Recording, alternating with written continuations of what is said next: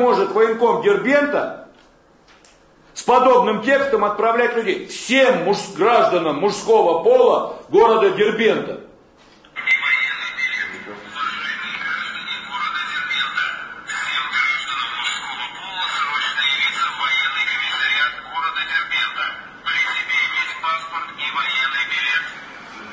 Вы мне скажите, что это за идиоты? Всем гражданам мужского пола срочно прибыть в военный комиссариат, при себе иметь военный билет. Вы что, дебилы, а? Кто их уполномочил? Ездить по городу. Это не что иное, как распространение фейковой информации, за которую сегодня тоже предусмотрены статьи Уголовного кодекса.